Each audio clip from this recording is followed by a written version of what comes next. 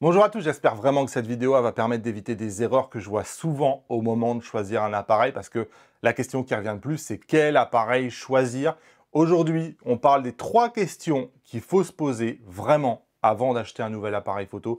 Je pense que ça devrait vous aider à choisir le bon boîtier. Alors le point de départ, c'est souvent justement de ne pas partir de l'appareil photo. C'est probablement l'erreur numéro une en fait. Est-ce que vous avez déjà des objectifs? Et croire que l'appareil photo c'est le plus important, bah, c'est probablement la première erreur que vous faites. C'est grave. La première question à se poser, c'est la question des objectifs. Ce que vous allez mettre devant le capteur de votre appareil parce que c'est lui qui va changer tout. C'est à travers de lui que la lumière va passer et c'est à travers de lui que la photo va se faire. Donc, se poser la question par les objectifs, c'est généralement un meilleur début que de se poser la question par l'appareil photo. Aussi bien pour équilibrer le budget, parce que il est hors de question de tout dépenser dans le budget de l'appareil photo et ensuite de venir faire des économies sur les objectifs. Probablement que c'est les objectifs qui sont plus importants. Donc, pensez vraiment à ça. Équilibrez votre budget. Vous devez avoir en tête que on peut garder un objectif 10, 15 ans et même beaucoup plus, certains diront. Hein.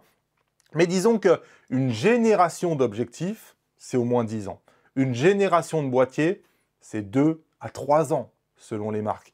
Ça veut dire que si vous sautez une génération de boîtiers pour acquérir un objectif, ça n'a pas vraiment d'importance. Les boîtiers, ils arrivent en permanence. Ce qui dure vraiment, c'est les objectifs. Donc, investissez et ayez en tête quel objectif vous avez envie d'avoir. Allez, deuxième erreur, c'est d'imaginer que vous allez devenir meilleur photographe parce que vous allez sur ipln.fr ou que vous rentrez dans une FNAC.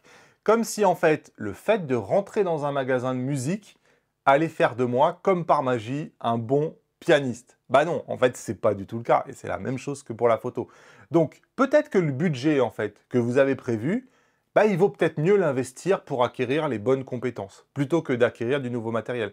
C'est-à-dire que vous devez apprendre les bases de la technique de la photo, mais vous devez surtout travailler votre œil, comprendre la lumière, nourrir en fait l'aspect artistique, comment composer des photos. Et on va pas se mentir, vous êtes des dizaines de milliers à avoir fait mon initiation à la photo qui est justement là pour travailler les compétences, hein, car souvent le problème c'est pas du tout le matériel. Et j'aime bien cette, image avec la musique, mais quand je cherche à acquérir un nouveau piano, ça va changer rien. Ce qu'il faut, c'est que je prenne des leçons de piano. Donc ça aussi, ça fait parfois un peu de mal à l'ego. Il n'y a pas ce côté, j'ai acheté le dernier joujou à la mode, c'est trop bien, je me suis fait plaisir, mais les compétences, c'est vous investissez sur vous, c'est à vie. Voilà. Si ça vous intéresse, info-damien.com hein, pour participer à l'initiation photo. Laissez votre mail, on en reparle là-bas. La question qui fait mal ensuite, c'est quel type de photo vous voulez prendre? Parce que parfois, bah, c'est pas facile quand on débute d'arriver à avoir cette réflexion-là. Et en fait, derrière, cette question, on se demande si vous allez prendre beaucoup de photos en basse lumière. Dans ce cas-là, bah, peut-être qu'il faut éviter la haute résolution parce que ce n'est pas idéal pour la montée en ISO. Pareil, la question qu'on cherche à ce que vous vous posiez, c'est est-ce que vous avez besoin d'un autofocus incroyable avec une rafale ultra performante, illimitée, comme aurait besoin par exemple un photographe de sport ou un photographe animalier?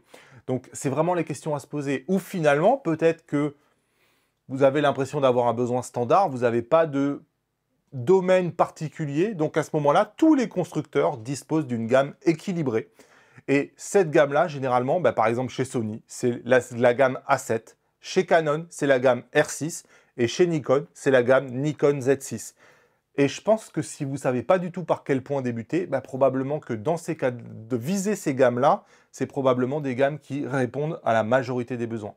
Le meilleur magasin, c'est ipln.fr. Vous pouvez mettre le code créateur Damien dans le panier pour soutenir mon travail.